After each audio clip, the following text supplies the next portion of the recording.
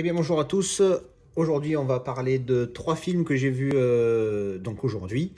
Euh, principalement deux. On va aller passer vite sur le premier qui est celui-ci, About Last Night. Euh, donc c'est un film de 1986 avec Demi Moore et Rob Laurie. Il y a James Bellucci aussi qui est qui j'aime beaucoup, qui qui est, qui est assez marrant comme acteur. Et Elizabeth Perkins, c'est elle qui est ici. Donc c'est un film, c'est grosso modo, c'est une comédie romantique. Alors comédie euh, pas trop drôle, mais euh, c'est pas un truc dépressif. Hein, voilà, c'est une histoire d'amour euh, entre les deux là. Ils se rencontrent et puis il se passe des choses. Donc pas exceptionnel, mais sympathique. Ça vaut un petit 6 sur 10. Voilà, je, je voulais juste le mentionner vite fait parce que je l'ai vu aujourd'hui et puis qu'il était sympatoque. Alors ensuite on passe au plat de résistance parce que j'ai aussi regardé en 4K, j'ai revu Forrest Gump, cette fois en 4K, et j'ai vu A Simple Favor euh, également euh, aujourd'hui. Alors je vais commencer, d'habitude je commence de gauche à droite, mais là je les ai mis comme ça, et j'ai envie de parler de Forrest Gump en dernier. Euh, je vais d'abord parler de A Simple Favor. je l'ai pris en 4K parce que j'avais vu qu'il avait été DI en donc Digital Intermediate, masterisé donc en 4K, et qu'il avait été filmé aussi en en 8K, même si je ne suis pas certain que ça soit euh, exactement filmé en 8K. Je pense que c'est plus parce que sur, sur AMD, il marque euh, Red Code RAW 8K, euh, source format. Donc si, si, la source est du 8K, ça, normalement, je pense que ça veut dire ça, parce que Red Code RAW, c'est le, format du négatif. Donc normalement, c'est du 8K, mais je suis pas spécialisé là-dedans. Dans, dans, tous les cas, c'est filmé en 8K, ce qui est pas dégueulasse, et masterisé en 4K. Donc euh, super qualité. En plus, oui, euh, il est en 2.00.1, donc ça veut dire qu'il a les bandes noires plus fines. Comme euh, je ne sais plus quel film dont j'ai parlé plus tôt dans une vidéo, celle d'avant, pareil, donc les bandes noires bien, plus fines, ce qui est, bien agréable. Évidemment, c'est mieux quand il n'y en a pas, mais bon, on va pas se plaindre. L'histoire vite fait, donc c'est Anna Kendrick qui joue le rôle d'une d'une femme seule qui élève son enfant, mais qui est un petit peu, on va dire, cucu, un petit peu coincée, naïve, et qui rencontre euh, la mère de, la, du copain de son fils, qui est euh, Blake Lively, qui est une femme qui est tout à fait l'opposé, qui est excentrique, qui a eu plein de choses qui sont passées dans sa vie, etc. Et euh, sortie de nulle part, elles deviennent copines et elles commencent à discuter, et puis d'un coup eh ben, la, la, mère du donc la l'excentrique euh, disparaît. Et donc après, il y, a, toute une enquête qui sort là-dessus, sur, sur sa disparition et ce qu'il en est devenu. Et, et puis on, comprend évidemment qu'il y a euh, baleine sous gravier, comme on dit. Donc anguille sous roche, pour ceux qui n'ont pas compris le jeu de mots. Et donc voilà, donc c'est un thriller. Il est sympathique. Il est pas nul. Il est pas exceptionnel. Il fera pas date. Mais euh, c'est un très bon film, il est vraiment sympa. Euh, je, reprécise niveau qualité, il est en Dolby Vision, il est, il est nickel, hein, il n'y a rien à redire là-dessus. Un chouïa sombre à mon goût, mais quand je dis sombre, c'est vraiment euh, c'est une façon de parler parce qu'il est au niveau de l'image. Alors après, je sais pas si c'est une question dans mes réglages, mais c'est vraiment c'est vraiment histoire de dire quelque chose parce que bon, quand c'est filmé en 8K et masterisé en 4, voilà, sur du 4K normalement c'est 100% qualité. Mais bon, il est très bon, il n'y a pas de souci, je, le recommande. Par contre, j'ai fait le comparatif avec le Blu-ray.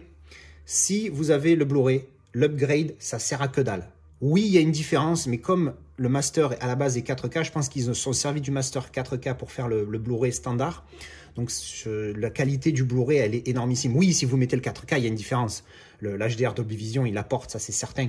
Mais euh, si vous avez le, 4, euh, 2K, déjà, ça vaut pas le coup d'upgrade parce que ben parce que oui, c'est mieux, évidemment, c'est mieux, c'est toujours mieux le 4K, même quand c'est un master 2K et qu'il est upscale 4K, ben, il est quand même mieux que le 2K euh, dans 95% des cas. Enfin, jusqu'à présent, j'ai jamais eu euh, l'inverse.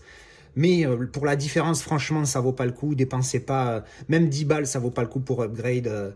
Après, encore une fois, c'est une question de moyens comme d'habitude, mais sinon, je, je recommande pas d'upgrade si vous avez le Blu-ray déjà, parce que la différence, elle est vraiment, vraiment, vraiment légère. Donc voilà, ça c'était pour euh, Simple Favor. Et maintenant, on va passer à Forrest Gump.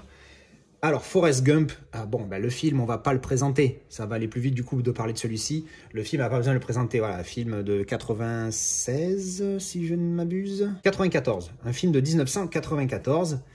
Euh, donc remasterisé 4K, j'avais regardé, comme je vous en avais déjà parlé, des vidéos euh, sur YouTube de HD numérique qui faisait le comparatif. Et franchement, j'ai été impressionné entre le Blu-ray et le 4K. Donc je me suis dit, allez, go, j'ai profité d'une offre. de toute manière, celui-là aussi, j'ai profité d'une offre. Je les jamais plein tarif. Parce que bon, c'est ultra cher. Et même là, quand je profite des offres, c'est pas cher, mais pour euh, mon budget habituel pour des films, euh, bon, bref, allez. Donc j'ai fait l'effort et j'ai dit, vu que j'avais que le DVD, je n'avais pas le, Blu-ray, euh, vu que je n'avais que le DVD, j'ai dit, bon, ben, allez, on upgrade et tant qu'à faire, on prend le 4K, on profite de l'offre. Je crois qu'il m'a coûté 10 pounds sur le Amazon Royaume-Uni. Alors, donc j'ai regardé le film directement en 4K, hein, évidemment, je me suis pas emmerdé à le regarder deux fois d'affilée.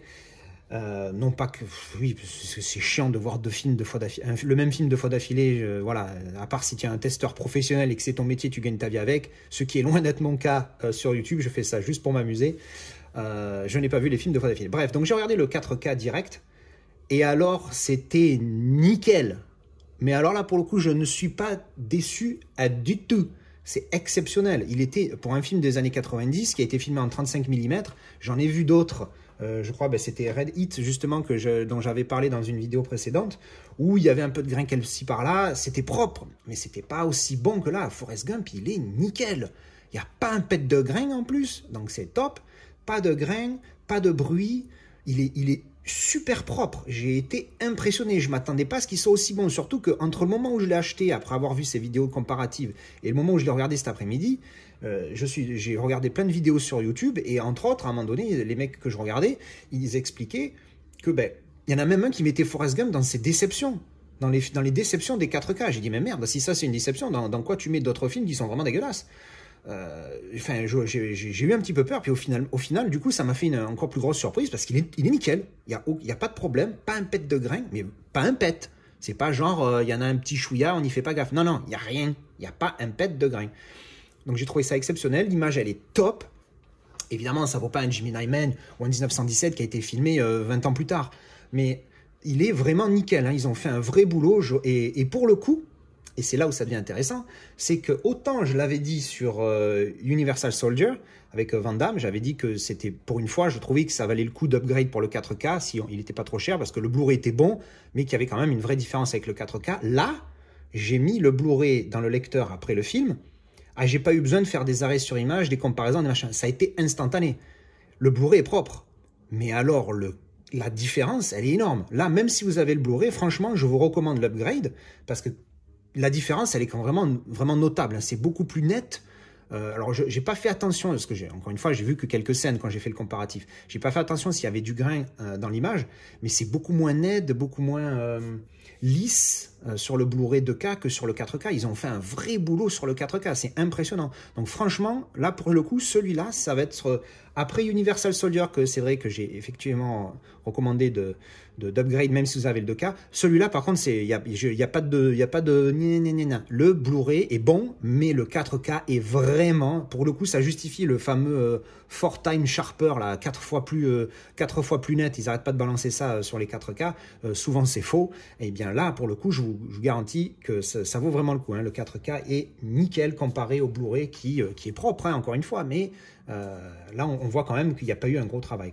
En plus, alors, dans ce coffret-là, euh, il y a euh, donc trois disques. Hein. vous avez le, les bonus en Blu-ray, le film en Blu-ray avec un chouïa de bonus et le 4K. Alors pour le coup, dans le 4K, il y a le 4K. C'est-à-dire que vous avez que dalle d'autre. Personnellement, rien à carrer parce que les bonus, moi, vous savez, euh, personnellement, je m'en fous un petit peu. C'est vrai que de temps en temps, je vais peut-être regarder un petit making-of ou un machin comme ça. Mais encore, quand je le regarde, c'est s'il est court et s'il est long, je vais faire avance rapide et je vais décrocher. Je, ne suis pas un gros fan de bonus.